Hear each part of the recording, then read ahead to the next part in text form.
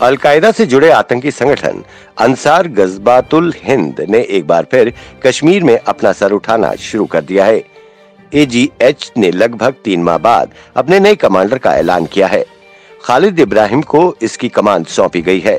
फ़िलहाल सुरक्षा एजेंसियों ने एजीएच के नए कमांडर के बारे में किसी प्रकार की ज़्यादा जानकारी देने से इनकार करते हुए कहा कि वो भी अपने पूर्ववर्ती कमांडरों की तरह जल्द ही मारा जाएगा। कश्मीर में आतंकवाद के खिलाफ अभियान चला रही जम्मू कश्मीर पुलिस को मंगलवार को उस समय बड़ी सफलता मिली, जब उन्होंने उत्तरी कश्मीर के पट्टन इलाके से लश्कर तैयबा के एक आतंकी को ज़िंदा गिरफ़्तार किया। 19 वर्षीय साजिद फारूक डार उर्फ़ अदनान पुत्र फारूक अहमद डार पिछले कई सालों से लश्कर के लिए काम कर रहा था।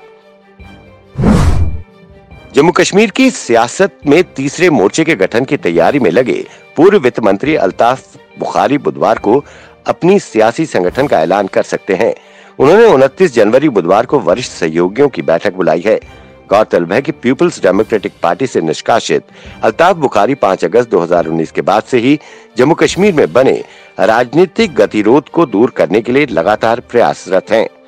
पीडीपी और नेशनल कॉन्फ्रेंस छोड़ चुके कई पुराने नेता और कई पूर्व विधायक कुछ दिन से उनके साथ नज़र आ रहे हैं। बीते दिनों नेशनल कॉन्फ्रेंस, कांग्रेस और पीडीपी के कई पूर्व विधायक और नेता उनके नेतृत्व में उप उपराज्यपाल जीसी मुर्मू से भी मिले। इन लोगों ने जम्मू कश्मीर के दौरे पर आए विदेशी राजदूतों के प्रतिनिधि मंडल से भी मुलाकात की थी।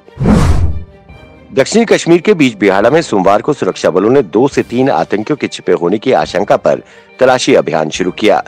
जवानों की एक टुकड़ी जब अरवनी में मकदमपुरा क्षेत्र के पास पहुँची तो वहाँ छिपे आतंकियों ने पहले ग्रेनेड फेंके और उसके बाद गोलीबारी करते हुए भागने का प्रयास किया। ऑपरेशन में सुरक्षा बलों ने एक आतंकी को मार गिराया है। माँ वैष्णो देवी के दिव्य आरती का लाइव प्रसारण शुरू हो गया। इससे वैष्णो देवी की यात्रा के लिए आने वाले श्रद्धालु आधार शिवर कटड़ा में भी माँ की श्रद्धा के समय होने वाली दिव्य आरती के दर्शन कर सकेंगे। श्री माता वैष्णो देवी श्राइन बोर्ड की महत्वाकांक्षा योजना, माता वैष्णो देवी की आरती के लाइव प्रसारण का सोमवार को सफल ट्रायल किया गया। इस दौरान आधार शिविर कटरा में स्थित आध्यात्मिक केंद्र के ऑडिटोरियम में श्राइन बोर्ड के सीईओ रमेश कुमार के अलावा अन्य वरिष्ठ अधिकारी मौजूद थे। जम्मू कश्मीर बैंक खिदमत सेंटर एसोसिएशन ने आज जम्मू में अपनी स्थायी नौकरी की मांग करते हुए एक विरोध प्रदर्शन किया। प्रदर्शन के दौरान सदस्यों ने अपनी मांगों के समर्थन में नारे लगाए। खिदमत सेंटर एसोसिएशन के सदस्यों ने बताया कि वो जम्मू में अपनी मांगों के समर्थन में पिछले 35 दिनों से प्रदर्शन कर रहे हैं। अब उन्होंने कश्मीर में भी अपनी मांगों के समर्थन में प्रदर्शन करना शुरू कर दिया है। पैंतीस दिन से हम प्रोटेस्ट पे हैं। यहाँ पे प्रेस क्लब जम्मू में। अभी हमने अपना प्रोटेस्ट शुरू किया है। प्रेस कॉलोनी श्रीनगर में भी हमारे, हम खिदमत सेंटर्स की डिमांड क्या है? सिंपल लफ्जों में हम हमने डिमांड रखी है जे के बैंक के सामने और गवर्नर साहब के सामने कि हमें जे के बैंक में एब्जॉर्ब किया जाए as permanent employees of the bank क्योंकि 10 साल तक जो भी वादे किए थे जे के बैंक ने, उसमें से उन्होंने एक भी वादा फुलफिल नहीं किया। लास्ट ईयर उन्होंने ही बताया था, हम आपको एब्जॉर्ब करेंगे, अगर गवर्नमेंट को कोई ऑब्जेक्शन नहीं हो।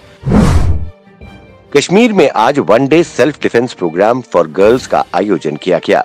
जिसमें वहाँ की कई छात्राओं ने भाग लिया। इस एक दिवसीय सेल्फ डिफेंस प्रोग्राम का आयोजन Kudos association Jammu and Kashmir ने राजीव गांधी लिटरेसी मिशन सोपुर के सहयोग से किया था। आज हमारा इधर सोपुर में सेल्फ डिफेंस प्रोग्राम था। तो ये डिस्ट्रिक्ट कुडो एसोसिएशन बारामूला ने शबीर साहब की सरपरस्ती में और ये जो कोचिंग सेंटर राजीव गांधी के नाम पे जो कोचिंग सेंटर यहाँ पे इन्होंने इसका इनका किया था। और मैं state president and state coach Faisal Nazir यहाँ इसी सिलसिले में आया था अपनी टीम के साथ। पीएचई एम्प्लॉइज ने आज जम्मू संभाग के जिला डोडा में अपनी मांगों के समर्थन में एक विरोध प्रदर्शन करते हुए नारेबाजी की। State president PHE daily wagers Tanveer Hussain ने बताया कि पीएचई एम्प्लॉइज ने निर्णय लिया है कि वो सात फरवरी को अपनी मांगों के समर्थन में हड़ताल करेंगे। State president PHE delivery association जैसे कि आज जानते हैं कि आज जो प्रोटेस्ट यहाँ डोडा के अंदर हमारा ऑर्गेनाइज हुआ, इसमें P H employees united fund की तरफ़ से कॉल आई है सात सितंबर शाम आठ बजे से सात फरवरी शाम आठ बजे से हम काम छोड़ हड़ताल पे जा रहे हैं। तो उसका एक आज यहाँ पे प्रोग्राम था ऑर्गेनाइज किया था, जिसमें अलग अलग हमारी लीडरशिप आज यहाँ पे आई थी। All village defence committee members ने आज जम्मू में अपनी मांगों के समर्थन में नारे लगाए और सरकार से अपनी मांगों के समर्थन में प्रदर्शन किया। इस अवसर पर बोलते हुए वीडीसी के प्रेसिडेंट ने बताया कि उन्होंने आज दूसरी बार अपनी मांगों के समर्थन में प्रदर्शन किया है। उन्होंने कहा कि पिछले कई समय से वेतन नहीं मिल रहा, जिससे उन्होंने कई दिक्कतों का सामना करना पड़ रहा है। उन्होंने गवर्नमेंट से अपील करते हुए कहा कि उन्हें सैलरी टाइम पर मिले। उन्होंने चेतावनी देते हुए कहा कि अगर उनकी मांगे नहीं मानी गई तो वो दिल्ली जाकर अपनी मांगों के समर्थन में विरोध प्रदर्शन करेंगे। दूसरी मरतबा यहाँ हिमालयन ग्रामीण सुरक्षा सत्याग्रह आंदोलन के नाम से प्रोटेस्ट रखा हुआ है। 2015-16 से और उन्नीस से कुछ ऐसी कमेटीज़ हैं जिनको तनख्वाह ही नहीं मिल रही है। और बहुत सारी कमेटीज़ ऐसी हैं विलेज डिफेंस कमेटीज़ जिनको 2015-16 से तनख्वाह नहीं मिल रही है। हमारी मरकज़ी सरकार से एक ही गुजारिश है कि आप दारुल खलीफा में हुकूमत में बैठे हुए हैं। जिस तरह जिस एसआरओ के तहत, जिस कानून के तहत, जिस पॉलिसी डॉक्यूमेंट के तहत विलेज डिफेंस कमेटीज़ के एस को सैलरी दी जा रही है, उसी तरह कोई एक वन टाइम पॉलिसी फ्रेम की जाए, एक कानून एसआरओ बनाया जाए। सीआरपीएफ ने सिविल एक्शन प्रोग्राम के तहत कश्मीर के विभिन्न इलाकों से बच्चों के लिए एक दल को भारत दर्शन टूर के लिए रवाना किया। इस टूर का आयोजन सीआरपीएफ की 115वीं बटालियन जकूरा और 118 बटालियन गुण द्वारा किया गया। इस टूर में बच्चों को देश के विभिन्न राज्यों में ले जाया जाएगा। इस अवसर पर बच्चों ने सीआरपीएफ द्वारा इस तरह का भारत दर्शन टूर का आयोजन करने के लिए धन्यवाद दिया। और कहा कि इस टूर में उन्हें देश के विभिन्न राज्यों में जाकर विभिन्न जगह देखने को मिलेंगी। बहुत एक्साइटेड हूँ यहाँ पर जाने के लिए और मैं तहे दिल से डिस्ट्रिक्ट एडमिनिस्ट्रेशन गांधरबल और वन वन वन फाइव और वन वन एट बटालियन का शुक्रिया अदा करता हूँ जिनने हमें ये मौका दिया है कि वहाँ पर जाने के लिए।